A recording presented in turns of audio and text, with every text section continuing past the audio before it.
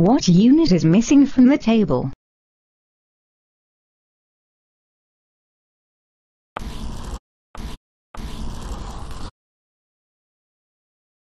The unit after the decimeter is the centimeter.